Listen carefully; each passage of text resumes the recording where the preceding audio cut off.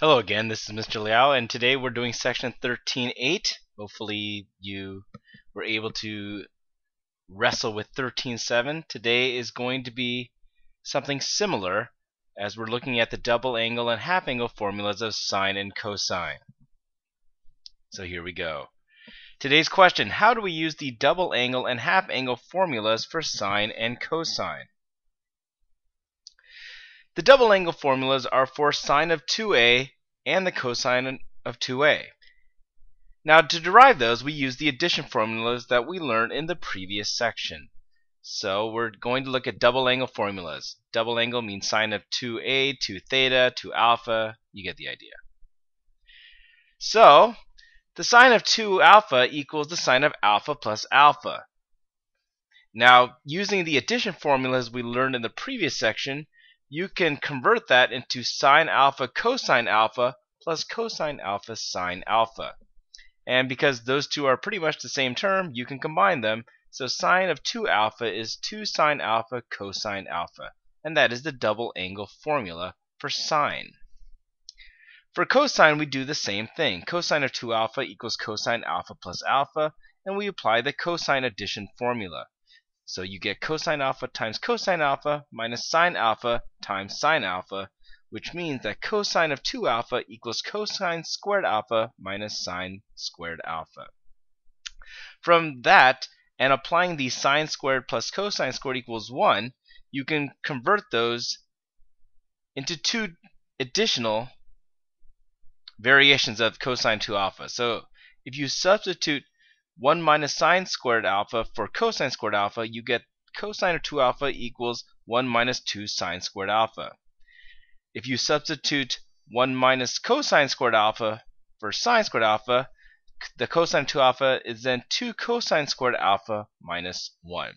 So the four formulas in yellows are the ones you should know for testing purposes and for your future mathematical reference. You really only need to know the cosine squared alpha minus sine squared alpha for cosine 2 alpha because you can get the other two just by using the Pythagorean identity of sine squared alpha plus cosine squared alpha equals 1. Example 1. If sine alpha is 4 fifths and alpha is in the second quadrant, find the sine of 2 alpha and cosine 2 alpha.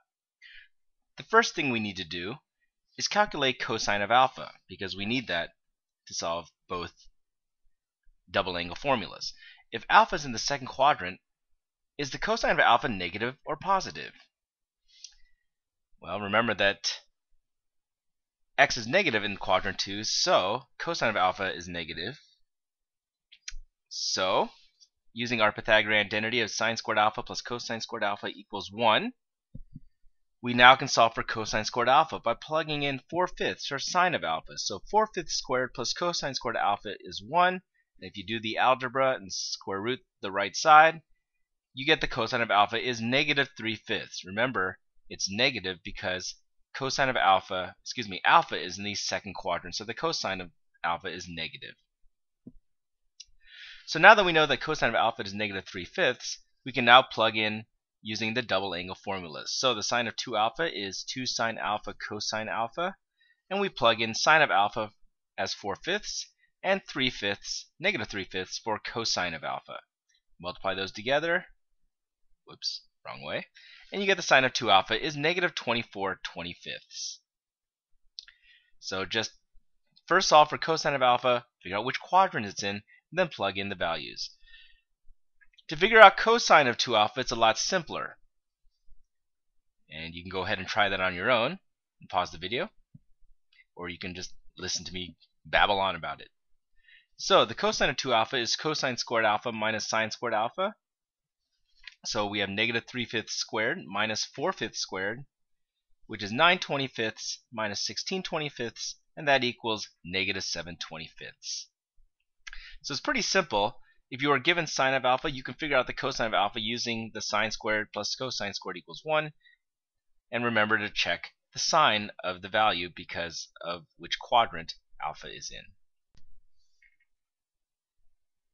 Half angle formulas. Half angle formulas is basically like the sine of theta over 2 or the cosine of theta over 2.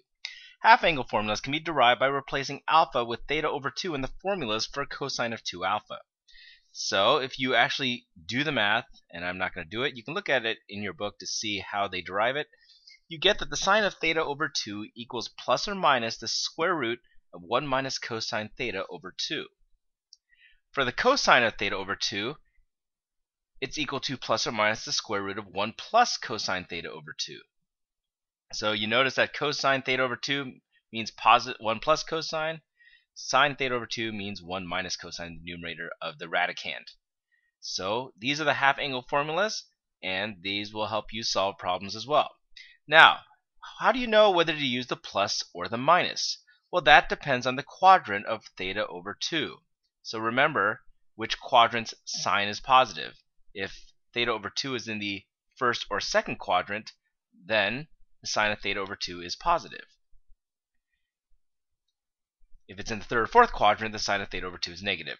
For cosine theta over 2, it would be positive if theta over 2 is in the first and fourth quadrants, and negative if theta over 2 is in the second and third quadrants. So that's how you determine whether it's positive or negative. So make sure you always check that. Let's go to example 2a. Simplify 2 sine 17 cosine 17 to a single angle without evaluating. So all we're asked to do here is to try to convert this into the sine or cosine of something. So the formula in the format is the sine double angle formula. You can tell because it's sine 2 sine alpha cosine alpha. Here the role of alpha is played by 17. So the sine of 2 times 17 is equal to 2 sine 17 cosine 17 and working with the left side of the equation, that means the expression is equal to the sine of 34 degrees. So look to see what the expression resembles in terms of the half or double angle formula. Once you figure that out, it's a matter of just plugging in the right numbers and making sure you evaluate the expression correctly. Let's go to example 2b. Simplify to a single angle without evaluating. The square root of 1 plus cosine of 100 divided by 2. So again, you want to see which half or double angle formula that that expression resembles. And if you have already tried to work at it and pause the video, you will know that the value under the radical is 1 plus cosine of 100, so which half angle formula are you going to use? Since it's positive inside the radicand, then you are going to be using the cosine half angle formula. So cosine theta over 2 equals the square root of 1 plus cosine theta over 2. Well, now that you know which half angle formula you're using, it's pretty simple. Since you know theta is 100, we know that theta over 2 is 50. So to specify this as a single angle, all you have to do is substitute in 50 for theta over 2. So the answer is the cosine of 50 degrees. Example 3a. Find the exact value of sine of 5 pi over 8.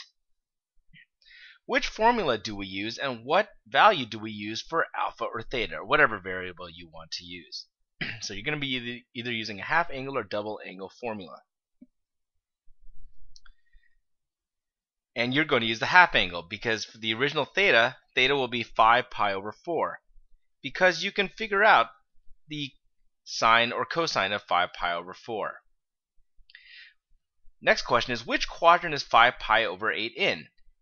And then is the answer to the expression sine 5 pi over 8 going to be positive or negative? Well, 5 pi over 8 is in quadrant number 2. Since it's in quadrant 2, the sine in quadrant 2 is positive.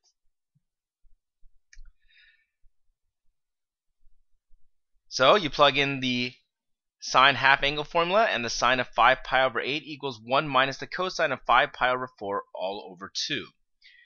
You know that the cosine of 5 pi over 4, or you should know, is negative radical 2 over 2, so you plug that in, and then you just simplify the radical and the fraction. So you get 1 plus radical 2 over 2 all over 2. That becomes that. Move the 2 downstairs, and you can square root the 4 at the bottom to make it a 2. So the answer is radical 2 plus radical 2. Yeah, whatever it says in there. Alright, so when you see a 5 pi over 8, you can use the half angle formula knowing that the original angle is 5 pi over 4. Find the exact value of cosine of 5 pi over 8. So this is the same thing as the previous one. We're going to use 5 pi over 4 as our theta. Is our answer going to be positive or negative? Well, we know that it's in the second quadrant, and the second quadrant cosine is negative. So we plug in the cosine half angle formula. Cosine 5 pi over 8 equals the negative of the square root of 1 plus cosine 5 pi over 4 all over 2. And it's similar to the previous example. You're just going to plug things in and solve the fraction. And I will go through this step by step, and you can see how you reach the answer.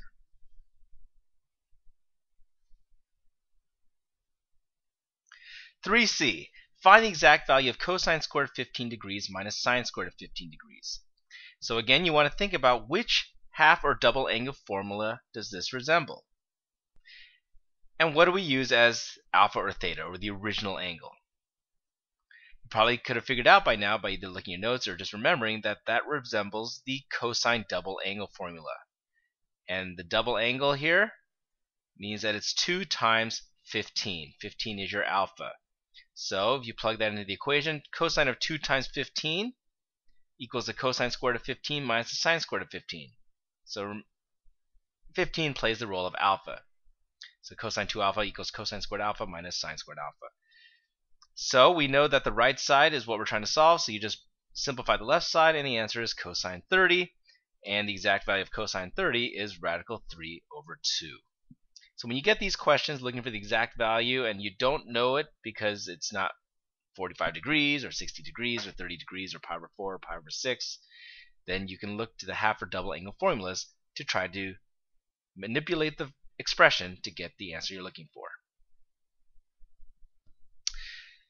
Example 4. Prove the identity. Sine of 2 alpha over 1 minus cosine 2 alpha equals cotangent alpha.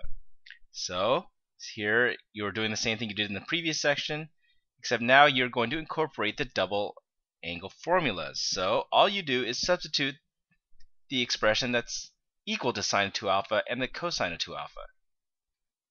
And there it is, 2 sine alpha cosine alpha over 1 minus cosine squared alpha minus sine squared alpha. The bottom, all I did was arrange the parentheses using the associative property. So 1 minus cosine squared plus sine squared alpha.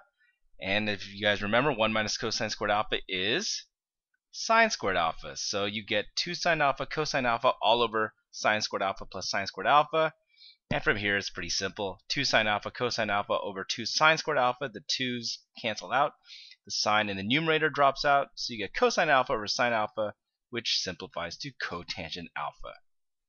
So you see a half or double angle formula, and you're generally not going to prove identities with half angle formulas because if you look at it, it just looks kind of ugly.